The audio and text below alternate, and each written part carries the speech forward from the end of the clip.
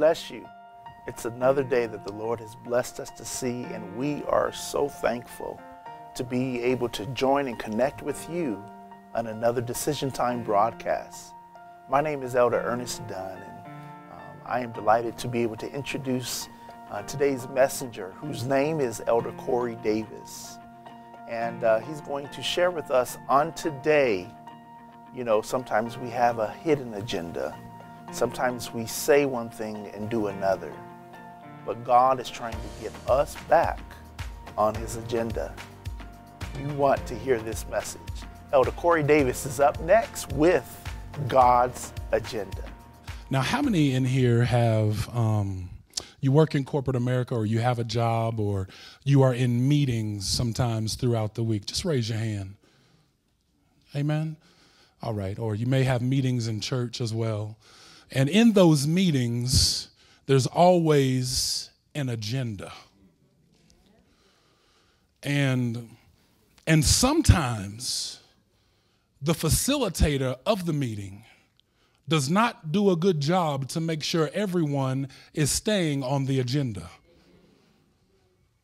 And so today, God wants to put us back on His agenda. The Holy Ghost is the facilitator, and we are the team members. And so we are going to go through a few agenda items in today's lesson. Matthew chapter 6, verse 33 says, Seek ye first the kingdom of God and his righteousness. Say, and his righteousness. And all these things shall be added unto you. Matthew 6 and 6 says, But thou, when thou prayest, Enter into thy closet, and when thou hast shut thy door, pray to the Father which is in secret. And thy Father which seeth in secret shall reward thee openly. Matthew 10 32 and 33 says, Whosoever therefore shall confess me before men, him will I confess also before my Father which is in heaven. Now, check this out, verse 33. But whosoever shall deny me before men, him will I also deny before my Father which is in heaven. That leads us to agenda item number one. It's time for my people to come out the closet.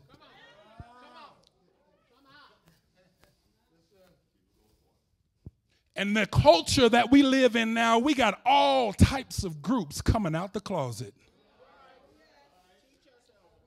LGBT, Black Lives Matter, all of these different things coming out the closet and having a movement. But what about the church? God does not approve of our closet Christianity. Closet Christians like to be Christians when it's comfortable. And even as God was dealing with me, He said, It's time for my church to move from part time to full time.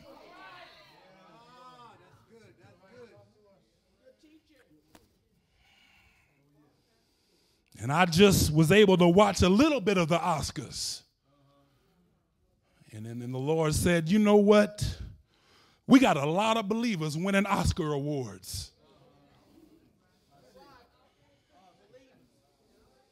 And the Oscars are designed to recognize that those individuals who have played a role excellent.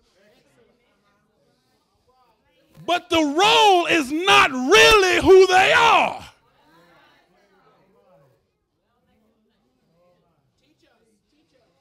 And he said that some of us have received the When I Got to Preach award. And we get on fire for God when we got to speak for the Lord. But what about when you ain't going to be in front of the people?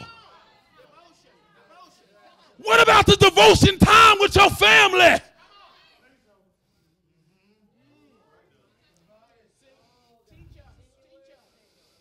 Some have received the Sunday morning award.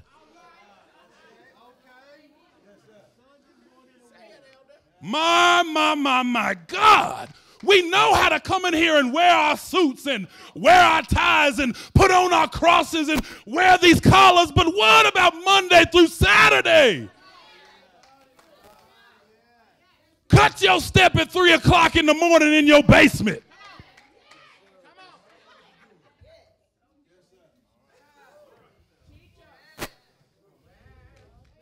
Revelation 3 14 through 16. And it says, And unto the angel of the church of the Laodiceans, these things saith the Amen, the faithful and true witness, beginning of the creation of God. Now, God said, I know thy works, and that's for everybody here. The Holy Ghost knows your works. But at times in our lives, we are neither hot nor cold. I would rather that you were cold or hot. So then, because thou art lukewarm, say lukewarm. You know, it's nothing like tasting a lukewarm cup of tea.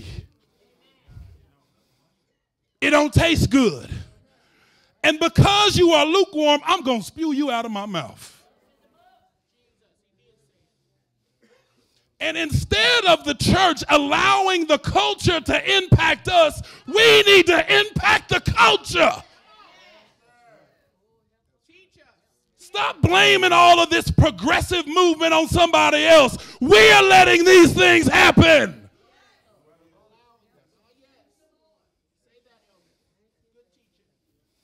I told myself, and God put me in a rest and said, You know what? You need to be a walking light everywhere that you go. And so I have determined in my mind that when the Domino's man come, he know he gonna get prayer when he come to 4482. The last time he came, he, I said, Sir, do you need prayer? No, I don't need prayer. I said, Are you sure you don't need prayer? And he said, Please pray for me. We need to be walking lights wherever we go. And you know what? This is something else as, as well. We're going to get to agenda number two. But sometimes you don't need a burning bush moment to just do what's right. Do you have to see a burning bush to do what the Bible says you're supposed to do anyway? The Bible says we lay hands on the sick and what? They shall recover. God is desiring a people that are not ashamed of him. Hallelujah. Romans 1 and 16 says, For I am not ashamed of the gospel of Christ. And even as I was studying and praying, and God says, You know what? Some people have become transformers. And, and we transform when we get into corporate America because, because the culture is coming against us. And God did not call us to transform like that. He wants you to be saved to the bone in church and out of church. Believe that even now, as I speak, with all of my heart, that God is activating a sense of urgency. Say, sense of urgency in the body of Christ. And He is endowing us with power by the Holy Ghost with a spirit of boldness. Ephesians 3 and 12 says, In whom we have boldness and access. Say, access with confidence by the faith of Him. Our next agenda item, number two, is that we should be moved with compassion. Agenda item number two means it says that we should be moved with compassion. What does compassion mean? It says care, a feeling of deep sympathy and sorrow for another who is stricken by misfortune, accompanied by a strong desire to alleviate the suffering. Mark chapter 1, 35 through 41. And in the morning, rising up a great while before day, he went out and departed into a solitary place and there prayed. That's what I love about Jesus. He is constantly teaching us about what to do before we move forward in ministry. First things first. And Simon and they that were with him followed after him. It's interesting, when you set the example, others will follow. And when they had found him, they said unto him, All men seek for thee. And he said unto them, Let us go into the next towns that I may preach there also. For therefore came I forth.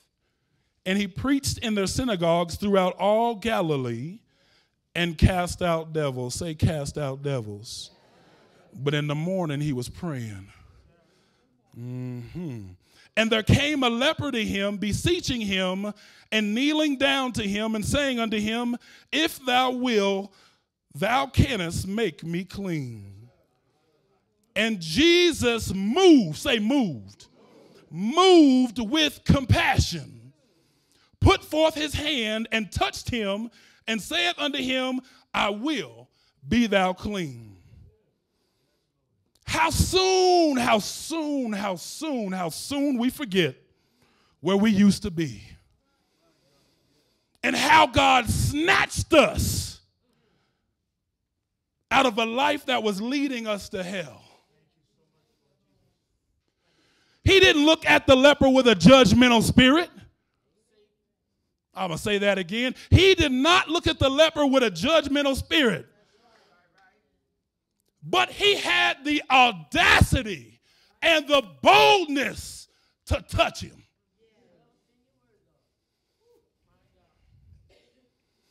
Could it be that God has presented you with some problems that you weren't willing to touch?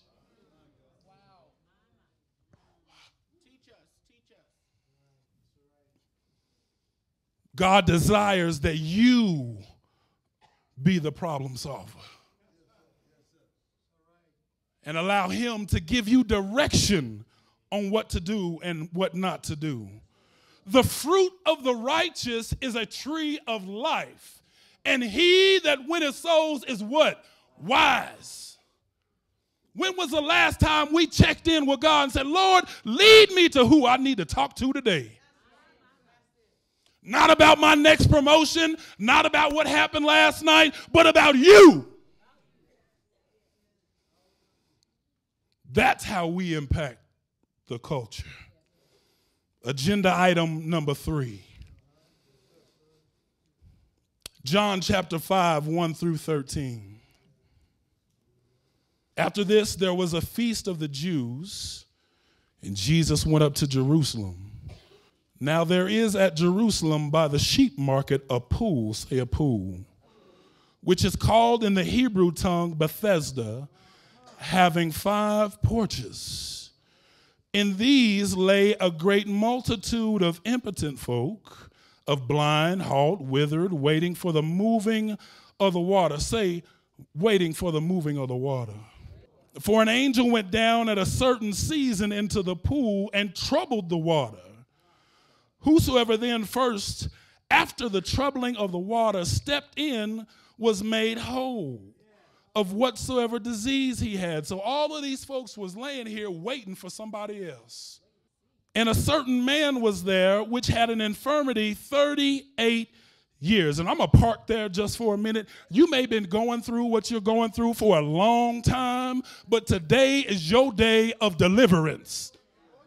Hallelujah. I'm going to say it again. You may have been going through what you're going through for a long time, but today is your day of deliverance.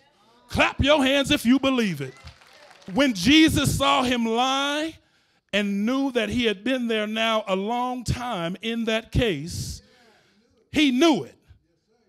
he, he, he knew what he was going through. When Jesus saw him lie and knew that he had been now a long time in that case, he said unto him, Will thou be made whole? The impotent man answered him, Sir, I have no man. He said, I have no man. When the water is troubled to put me into the pool, but while I am coming, another steps down before me. Jesus said unto him, Rise, take up thy bed, and walk. Agenda item number three is get to stepping. Get to stepping. It is time for you as a believer to step into the great things of God that He has in store for you. We cannot wait on another man to promote us because God is the one that promotes us. Stop trying to do extra favors for your job thinking it's going to get you ahead. Do what they ask you to do and seek God. Hallelujah, hallelujah. It's time for us to launch out into the deep where only your faith can support you. And the Lord gave me an, an illustration of a rocking chair. And see, the thing about a rocking chair is that when we get in it, we start moving and we're doing a whole bunch of moving. But guess what? We ain't going nowhere.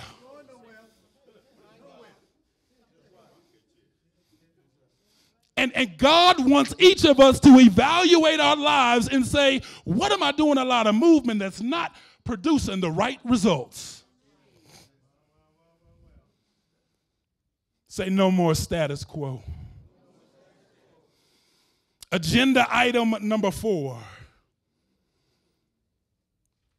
is be prepared for the shift. Ah. Oh, my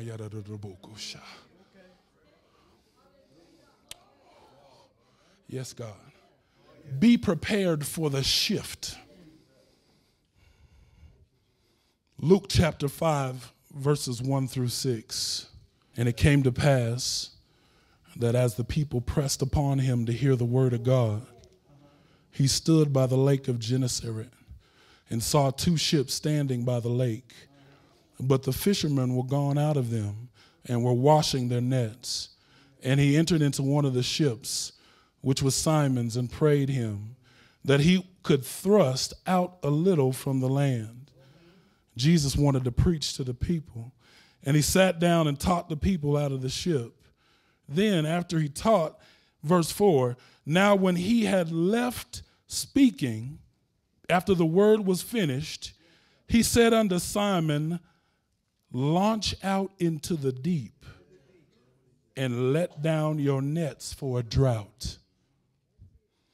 And Simon answered and said unto him, Master, we have toiled all night. And there it is again. We've done things the way we've done them for a long time.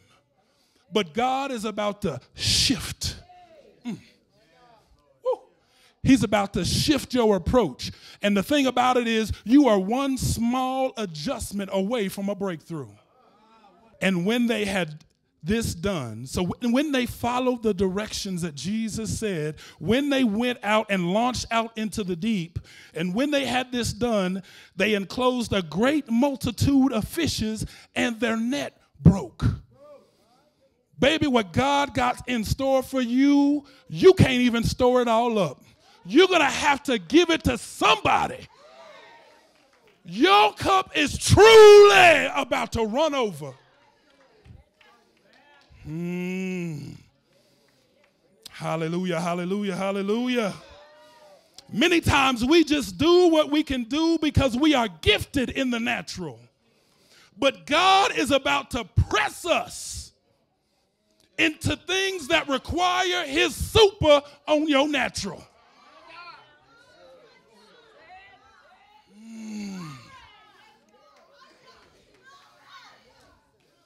Hallelujah, hallelujah. Thank you for your word, Lord. Could it be, hallelujah, could it be, saints, that your faith has been swimming in the three foot and, and God want to take you to the 12 foot? Woo! My, my. You about to launch out into the deep with God's help.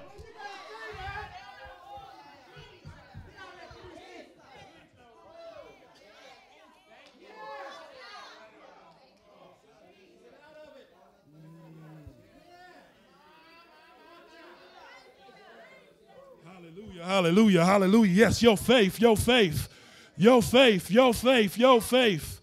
Hallelujah. James 5 and 17. Elijah was a man subject to like passions as we are. Woo! And he prayed earnestly that it might not rain, and it rained not on the earth by the space of three years and six months. By faith. My God. Is there anybody in here that's willing to launch out? Hallelujah. Hallelujah. Hallelujah. Hallelujah. Is there anybody here that's willing to go from the four foot to the 10 foot? Or, or you may be at the 10 foot and God's asking you, I need you to go to the lake now. But, but, because, because I've seen all your work and I, I've seen you endure hardness as a good soldier.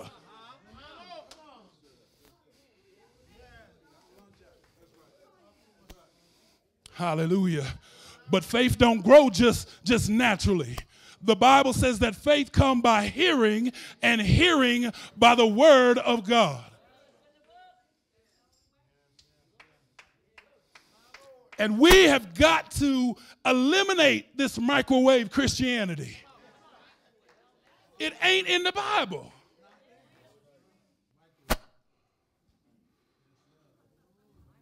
I don't know about you, but I'm ready to launch out into the deep. I see new levels of productivity in my life. Hallelujah. Yes, yes, yes, yes, yes, yes, God. I see it and I see it in the believers' lives as well. The other shift that he told me about was this is that, and I know we've been talking about compassion and mercy, and I love that. That's part of God's nature. But we are about to also shift from a season of grace and mercy to judgment into this world.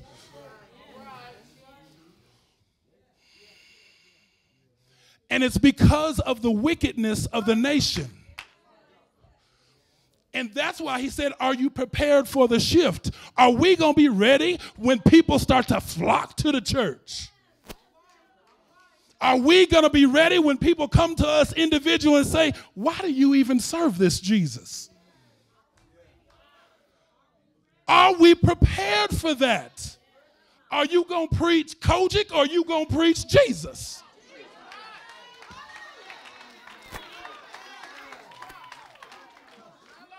What are you going to say when they come to you?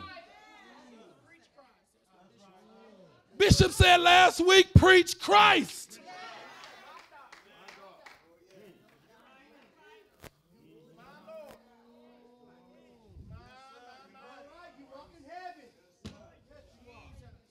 Romans 1 and 17 says, For therein is the righteousness of God revealed, say from faith to faith. As it is written, the just shall live by faith. Agenda number five. And we're going to close. And I want you to really catch this. For the body and for those that are not saved, the Lord says, stay saved.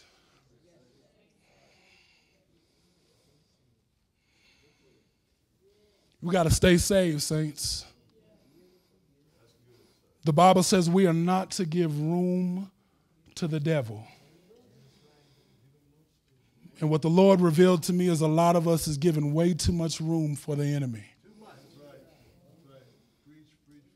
We allow him to speak through our televisions and allowing our children to see all manner of foolishness, evil, and wickedness. And we think that's not going to impact them. You know, we tell jokes on our jobs that are ungodly and we think that we're walking holy. He said, Give no room for the devil. And then the scripture also says in Thessalonians that we are supposed to stay away from the very appearance of evil. The very appearance. Men, you ain't got no business riding with another woman nowhere. Backseat, trunk, whatever. Y'all can think I'm super deep if you want to. And I know y'all all super saved and everything. But you know what? You have got to flee from those things. And when we begin to do those things, the world says, well, maybe there is a difference. Oh, Maybe there is a difference between holy and unholy. Part B of agenda item number five is if you're not saved, get saved.